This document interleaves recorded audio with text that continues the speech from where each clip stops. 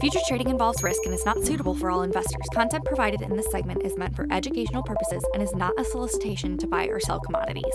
All right, everybody, welcome back to another episode of Tech Talk. I am Cody Coster, and with me, per usual, Mr. Andy Fallman. For uh, the time frame here, we're in the second week of February. Today is the 11th. Uh, Andy and I are going to kind of jump around and not really stay in one specific area today. We're going to start out with some May beans, go to July to Dees Whey, and then uh, show you guys a chart of piggies. Got a little, I got some beans, some pigs, got a little, just a little bit of everything for you today, Cody. We're just all over, giving the people We're all over the place, but that's okay. There's there's a lot going on around here. Um, yeah, we start with May beans. It's you know had a pretty big break yesterday, right? You had the WASDE report, um, and you know it, it, it what sticks out to me the most about this chart is I drew this red line prior. It's at 13 and a half right? And if you just if I just take this away and you just look at all this this the consistent support that it seems to find, right? It, it took a stab at getting beneath there during this time frame prior to the report back in January, and, and just clearly didn't like being beneath that price. So while you did have a big you know break yesterday, you took a stab getting through th- the 13 and a half today and just couldn't do it. Right. So consistently, this market is finding plenty of support around 13 and a half. It did it back here before it started to take off tried to do it here and just could not bust through it. And it, to me, I, I, look at that and I say that's pretty significant, right? I mean, that price just it, as long as it continues to be supportive, you know, the, the further that this chart kind of chugs along, I would imagine that you'll just get right. You, you start to find more and more stability from that price, and I think it makes buyers a little bit more anxious. Um, you know, fundamentals we've been hearing a little bit still about beans being relatively snug. Um, but just technically speaking, just technically speaking, it, it, this chart looks like it made a pretty strong bounce off of this 13 half again and wants to climb back into this. I think the next thing that sticks out to me is getting over this trend again. So that's what I was just going to ask you, and you and I talked about this a little bit yesterday. Yesterday we were like 48 cents lower and settled. We actually traded and settled below that short-term trend line, and then mm-hmm. today went back and settled directly on that trend line. Mm-hmm. Is there anything because yesterday a lot of people were saying, okay, the next place to go test is 13 bucks, which we have done, you know, before. We tested it twice. Oh God, about a month ago, three weeks ago. Uh-huh. Is there anything that says if you settle below and then trade and settle on that line again, what would be the next ramification down the line? I think I think again it's it's this 13 half price right? I mean, let's just forget about this trend line for a second here. It's this, it's this, this is 13 half price that if you get a settlement beneath it and then open, open lower, right? What sticks out to me about this, like this, these two candles right here, and really these three, but you know, this one, two, three formation is that you, you know, you had this big break through 13 and a half and you couldn't maintain it, right? You had a pretty strong rejection of that break. And then the next day, if I can just kind of zero in on this for a second, the next day, that open right here was above the previous day's close for these two candles. Those types of formations, when you have a strong rejection and an open in the direction of that the next day, is usually pretty significant, right? And then since then, 13 and a half seems to be a price that finds a lot of support. So I think, you know, it's twofold. It's breaking that 13 and a half price, but it's also too, you know, let's say it settles 1340 or something. Just make that number up, right? Next day settles 1340 and then the next day's open is called like 1335 so beneath the previous day's close. I think will be the, one that gets significant and if that does happen you have multiple days in a row then this this trend line starts to become more or less a magnet right? And, and depending on how quickly that happens that could be beneath 13 bucks. On the other way though. I, I think this this trend line right here becomes the next thing it bounces off of. And it's you'll see i think what we're going to find is that this move here in the last two days today and yesterday is similar to this one over here.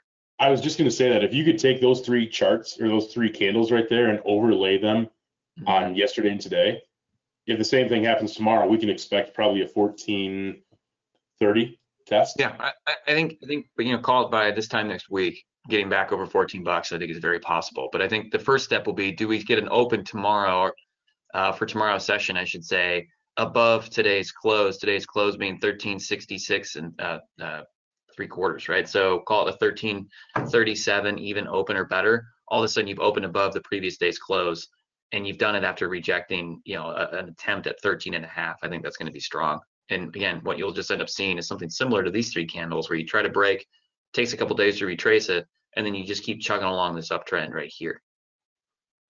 May beans, man, it's the gift that keeps on giving. May beans, the gift that keeps on giving. That's right. But I, I, that's my call. I think this uptrend holds. I think it, it just comes back into play. I'm with you. Um, I'm with you there. Next one. Speaking of uptrends, Heyo.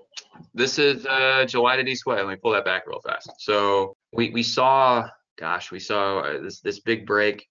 This was the end of January, and since then we've just been kind of cruising right along. And what sticks out to me, if you just kind of zero in on the last couple weeks with the price action, this is starting to look a lot like kind of like a uh, it's like an ascending triangle. You know, it's it's a higher low, right? You have this you have this low, clearly couldn't test it, couldn't get through 46.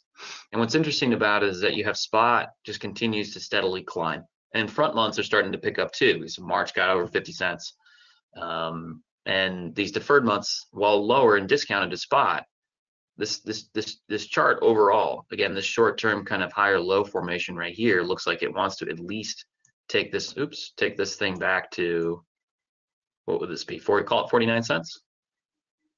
I think we blow through that and keep and go test where spot is, right? But I think the next step is to go test this this price right here. Okay.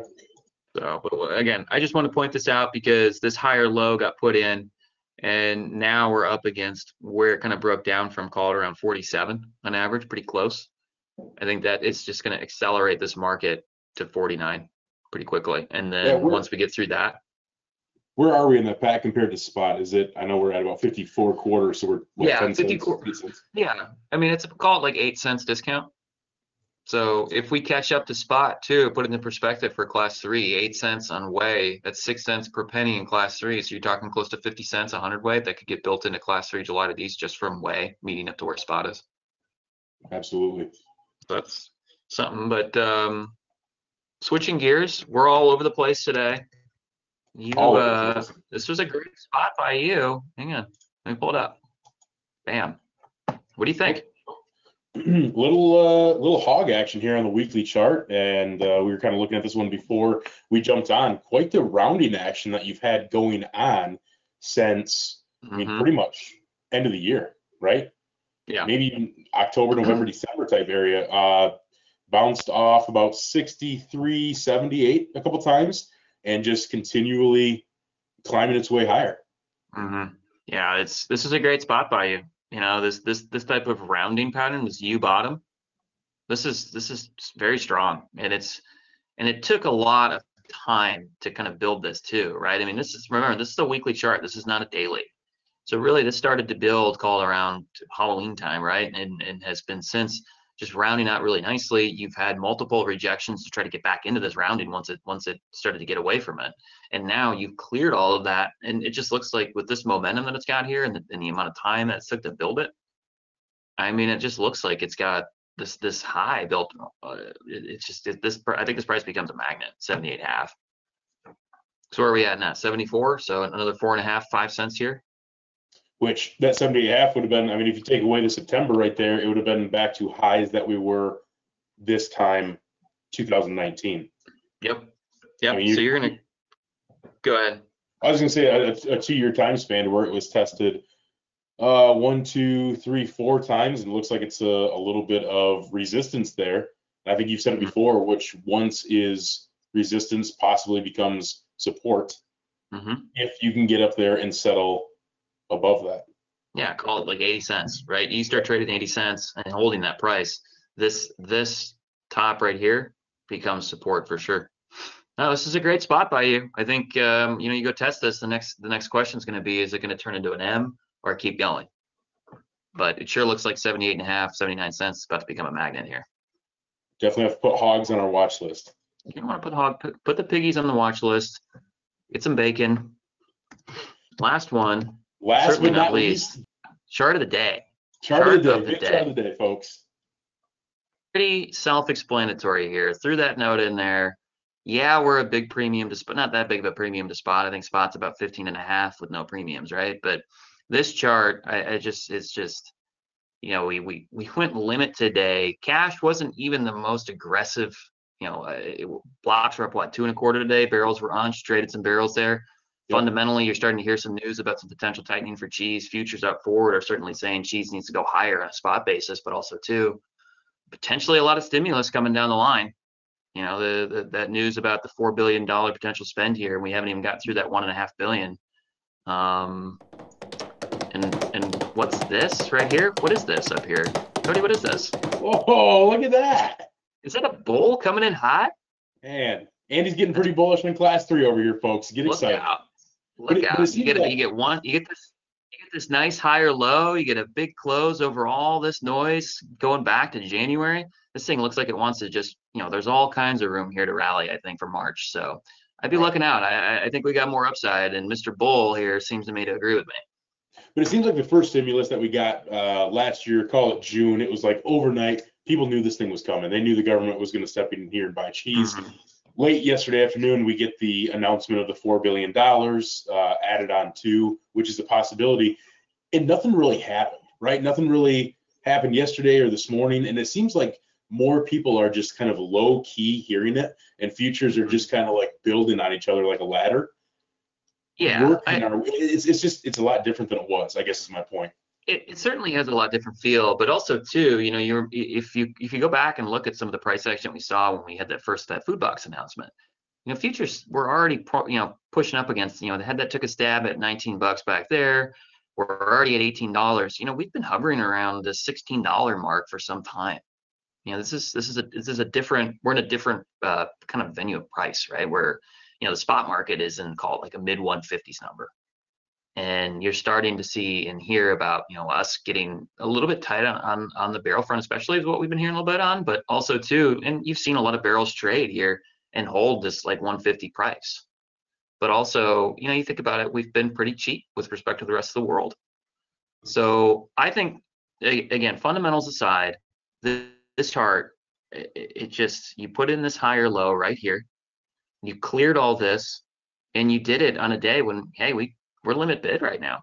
Yeah. You know, if you were selling anything in, you know, from here on, you're now it's it's it's underwater, and you've got, like I said, you have what feels like a bottoming spot market and a pretty strong higher low here. So I think March could get really interesting. Doesn't start pricing till next week, so you know it is a four week month, but uh, you know if you start moving higher at the beginning of the pricing period, a lot of that you know call it discounted what we're seeing now that may not come into play. And if everybody wants to, they can go follow Joe Schmidt on Basis Loaded to learn a little bit about the March uh, pricing month and how the pricing action kind of works. So there's a little plug for Joe there. little, little plug for Joe. This is no, this is uh I think this is going to turn out to be a pretty interesting expiration. Um, I I no, I mean I'll just say it. I put in the buy it right there. Pretty self-explanatory, but I think this Yeah. chart looks great and it's, and it's got more upside to go. Awesome. Well, hey, everybody, that's going to do it for another episode of Tech Talk for myself and Andy. So if you would go give the EverAg channel a big thumbs up, uh, subscribe to the channel, and hit the notification bell, and you will learn of any new episodes coming out from myself and Andy, Joe, uh, Britt, and Mitch, anybody from the EverAg channel. Mhm. With that, we will uh, bid you adieu and see you next time. Thanks for joining, everybody. Thanks everybody.